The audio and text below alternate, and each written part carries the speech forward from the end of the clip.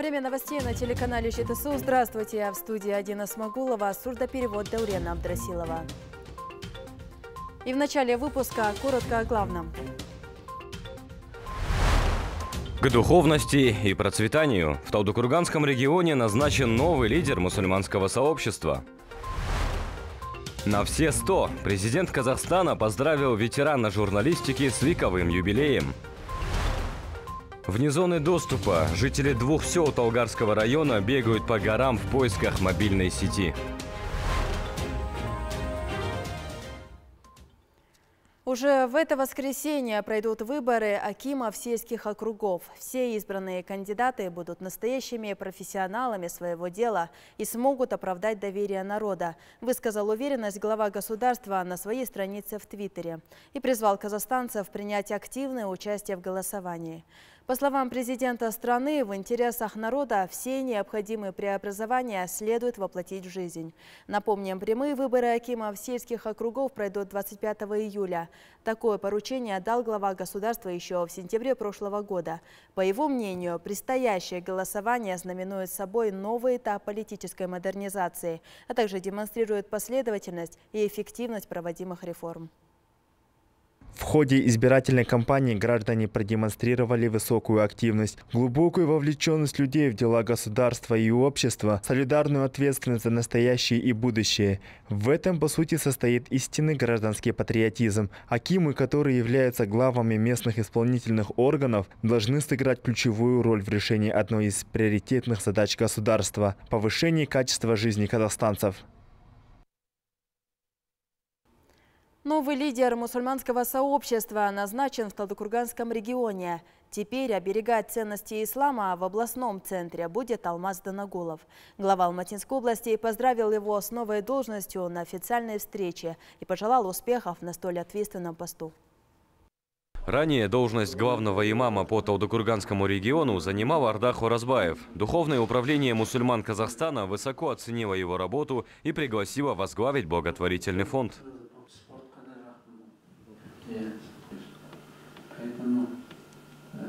Жұма сайын біз жасағанда кім жасайды деген мақсатта әр неге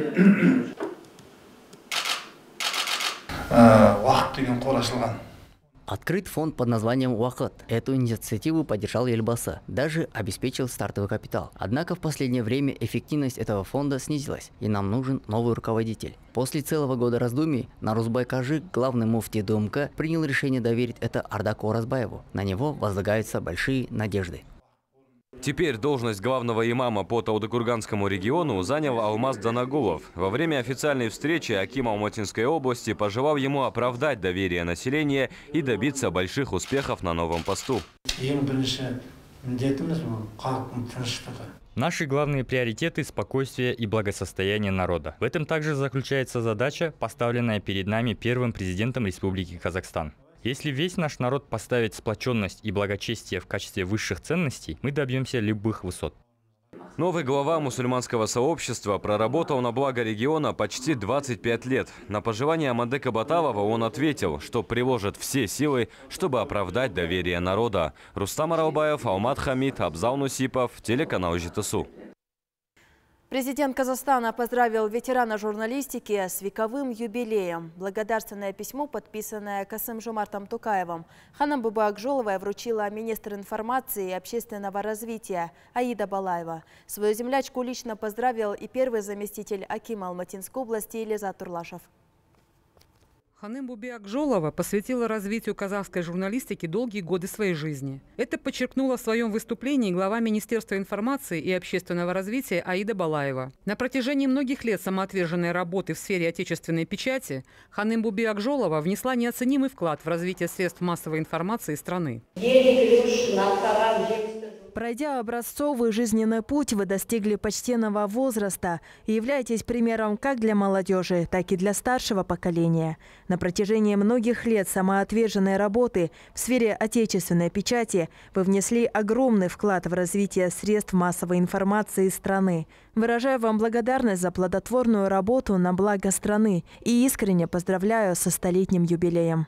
Выдающийся казахский общественный и государственный деятель Алжас Сулейменов отметил, что жизненный путь журналистки служит примером как для молодежи, так и для старшего поколения. В свою очередь, первый заместитель Акима Алматинской области Лазат Турлашев передал слова приветствия главы региона. Кроме того, Ханымбубе Акжоловой было присвоено звание «Почетный гражданин Алматинской области». Поздравляю вас с этим знаменательным днем. Желаю здоровья, благополучия вашей семье. Ваш вклад в развитие казахстанской журналистики огромен. Вы пример для подражания не только для современных журналистов, но и всех граждан.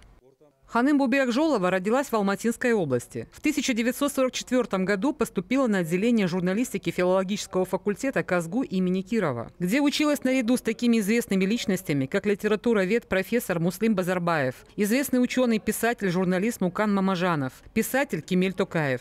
Долгие годы работала в республиканской газете «Егемен Казахстан». Затем вернулась в родные края, где была назначена редактором Жамбылской районной газеты Якпенды Янбек. Свои знания она передала многим ученикам. Десятки успешных журналистов страны сегодня с гордостью вспоминают, как обучались у нее. Для меня Ханом Быбы Ахжолова – эталон профессионализма и, без преувеличения, пример для подражания. Для меня большая честь быть воспитанником метра журналистики. Благодаря заданному ею направлению я смог не только добиться желаемого, но и найти свое предназначение в жизни. Мою благодарность ей не выразить словами. В свою очередь, Ханым Бубиакжолова, поблагодарив за теплые поздравления главу государства, направила президенту один экземпляр новой книги «Берга сыр Бегинде». Евгения Присяжная, Курмажан Касымжанулы, телеканал ЖТСУ. В Талдыкургане открыта мемориальная доска в честь известного писателя. Теперь фасад дома в микрорайоне Каратал, в котором жил Турсын Абдуалиев, украшает своеобразный мемориал памяти. Член Союза писателей Казахстана Турсын Абдуалиев, уроженец Куксусского района Алматинской области. Трудовую деятельность начал рабочим на железнодорожной станции Айнабулак. Учился в Свердловском государственном педагогическом институте и Московской академии общественных наук. Прошел путь от простого корреспондента до главного редактора республиканского издания «Жеруек». Турсун Абдуалиев – автор прозаических произведений «Аула Замата» и других. сонда бір қайран қалатыным бұл кісінің Он был исключительно умным и разносторонним человеком, знал ответ на любой вопрос. Турсун Абдувалиев при жизни очень много сделал для народа и нашей области. Он запомнился как отзывчивый и внимательный человек, а его работы были написаны для простых людей. Теперь память о такой замечательной личности никогда не исчезнет.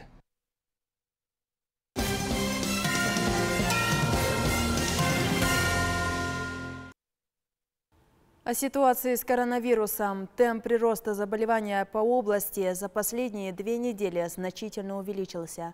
Только за последние сутки в области зарегистрировано 230 лабораторно подтвержденных случаев КВИ. Из них 34 бессимптомные.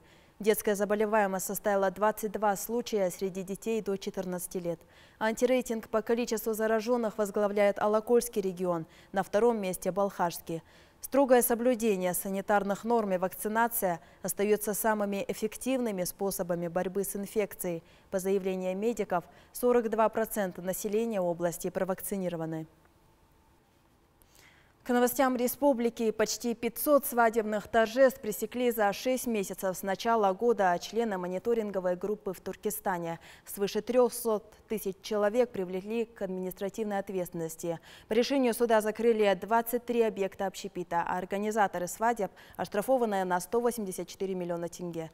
Из-за ухудшения ситуации в регионе введены новые ограничения, но даже немалые штрафы не становятся препятствием для желающих повеселиться в карантин нарушают запрет эпидемиологов и в сельских районах. В Сарагашском районе за сутки провели три торжества. Район в антилидерах по темпам заражения. Тем не менее, здесь в один день организовали Беташар, Шельдяхану и Сундет той сотнями гостей.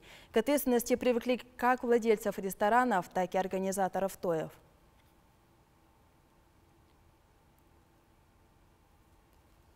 В Атырау 21-летняя девушка вымогала деньги у 18-летнего парня. Сначала она взяла у него 2 миллиона тенге, потом потребовала еще полтора миллиона. Сообщает полиция Кизет. Молодой человек обратился в полицию.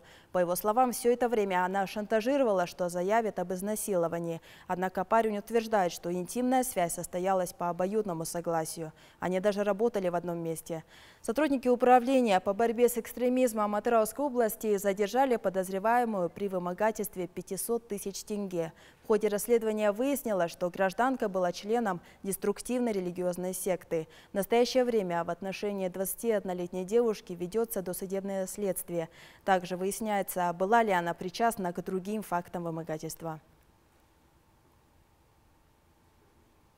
Больше 30 лет без центрального водоснабжения жители Бесагарского сельского округа Жамбылской области вынуждены пользоваться колонками, сообщает Хабар-24. Вода в них с песком, порой попадают и дождевые черви.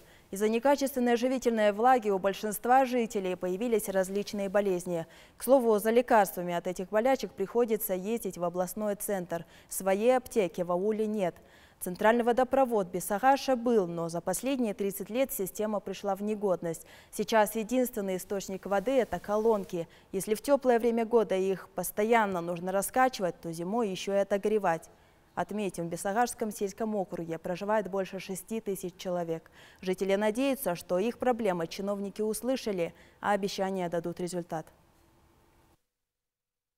Девять лет колонии получил судья из Алматинской области за получение взятки. Об этом сообщили в агентстве по противодействию коррупции. Осужденный Сулейменов подозревался в получении обманным путем от директора лесного хозяйства Юлдашева 12 миллионов тенге.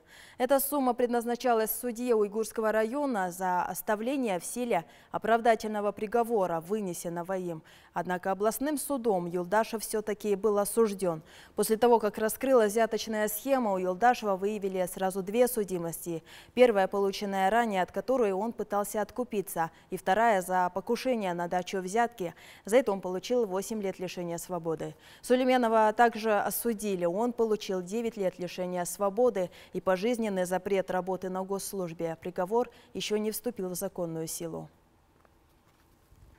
На плохое качество связи и интернета жалуются жители сел Береке и Рыскулова в Талгарском районе. По их словам, невозможно даже сделать звонок, не говоря уже о выходе в интернет-пространство. Особенно трудно приходится школьникам и студентам. Вице-министр цифрового развития Казахстана Асхат Оразбек лично встретился с сельчанами и выслушал их обращения. Также во встрече приняли участие заместитель Акима области Жена Стуяков, Аким Талгарского района Кайдар Абдыханов и представители операторов связи. Бегать по горам в поиске сигнала мобильной связи жители сел Береки и Рыскулова уже привыкли. По их словам, некачественная связь здесь постоянно. Больше всего жителей беспокоит приближение учебного года, пока неизвестно, в каком формате будет проводиться обучение. Однако вновь пережить проблемы, связанные с дистанционным форматом, ни педагоги, ни ученики не готовы. Свои переживания они изложили на встрече с вице-министром цифрового развития, инноваций и аэрокосмической промышленности. Мы решили по стране посмотреть самые такие болевые точки, туда прям приехать, с жителями переговорить, понять, какие ключевые проблемы там есть. А, может быть, какие-то подводные камни, где можно будет помочь со стороны нашего министерства. Мы с операторами э, достаточно четкое понимание выработали, что мы должны все качество значительно улучшить. Это первое. Второе, у нас есть для этого инструменты. Третье, акиматы сейчас активно вовлекаются в эту работу, готовы поддерживать, готовы помогать. Все сейчас, в общем-то, а, смотрят на то, как дать возможность населению пользоваться качественными услугами, и это ну, воодушевляет. На самом деле, другой вопрос, что потребуется какое-то время. А, не, не всегда достаточно быстро можно развернуть инфраструктуру. В свою очередь, операторы связи называют несколько причин некачественной мобильной сети. Скорость интернета в этих местах значительно снижается в так называемые часы наивысшей загрузки. Это когда одновременно интернетом пользуется большое количество человек. Особенно повысилось потребление интернет-трафика в связи с пандемией, утверждает представитель ТО Mobile Telecom Service Бексултан Мирбеков. В такой ситуации достаточно просто расширить емкости сети и снять нагрузку с базовых станций. Эту работу МТС планирует провести в селе Береке до конца сентября. Мы с началом пандемии, конечно же, эту работу по улучшению качества по всей стране проводим. В частности, если брать Алматинскую область, то в Алматинской области у нас работы не останавливаются никогда. В целом, там ежемесячно, еженедельно проводятся работы по апгрейду, по улучшению качества. Где-то мы новые базовые станции устанавливаем, где-то расширяем. Конкретики по Алматинской области у нас есть задача на текущий момент а, обеспечить сельские населенные пункты с численностью жителей от 250 человек и выше мобильным ШПД. Эти у нас обязательства до конца 2022 года. А, мы сейчас работаем по ним, выполняем, в принципе, в срок. Алматинская область у нас обеспечивает связь МТС то есть Mobile Telecom сервис. При этом мы также понимаем, что мы должны быть тоже в этих селах, то есть когда улучшится качество связи, техническое обеспечение со стороны МТС, мы уже тоже придем и поставим свою базовую станцию, будет обеспечено соответствующее качество связи. Взяли у начальника цифровизации список проблемных населенных пунктов, а, в которых э, существуют проблемы с качеством связи. Да, будем также отрабатывать. Стоит отметить, нередко работе операторов связи препятствуют и жители населенных пунктов. По словам Айман Мадахметовой, существуют отдельные группы людей, ошибочно полагающих, что станции приносят вред здоровью и являются источниками электромагнитного излучения. Специально для таких радиофобов в скором времени начнут повсеместно проводить разъяснительные мероприятия. Аделя Кжаркинова, Ербол Атантелов, телеканал «Щитсу». На Казахстан надвигается аномальная жара. Столбики термометров на юге и юго-западе страны достигнут отметки в плюс 46 градусов. Однако, если одной части регионов придется бороться с сильной жарой, другой, напротив, нужно будет брать с собой зонты и прятаться от раскатов молний. Службы спасения предупреждают о том, что в западно-казахстанской области ожидается гроза и усиленные ветра с порывами до 15-20 метров в секунду. Все это будет сопровождаться дождями с переходом в град. Жители Алматинской области, по словам синоптиков, ожидают жаркие выходные. Температура воздуха поднимется до плюс 38-42 градусов. При солнечной активности казахстанцам рекомендуют не рисковать здоровьем и поменьше находиться на улице.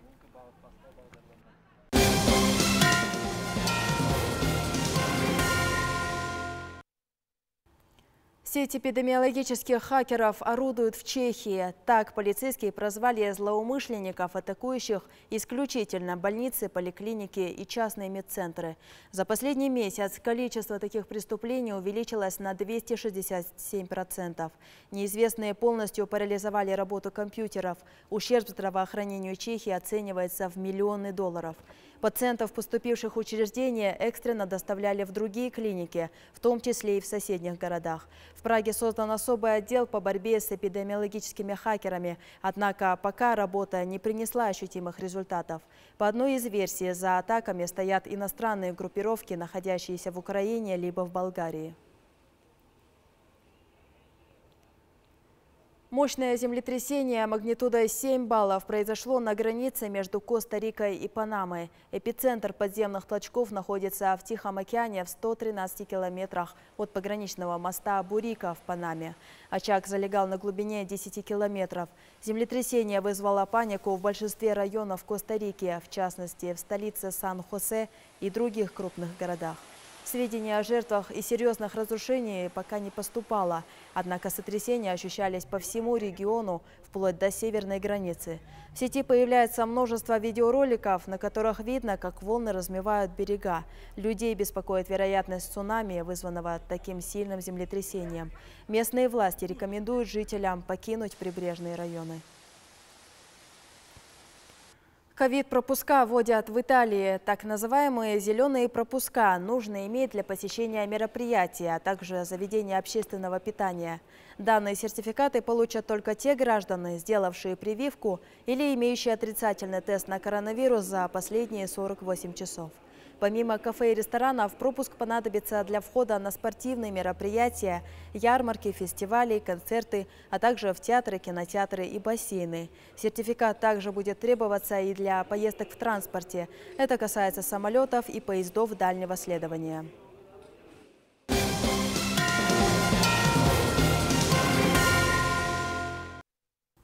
Талдыкургане собрался практически весь цвет отечественного пляжного волейбола. Они участвуют в финальном туре Кубка Республики Казахстан.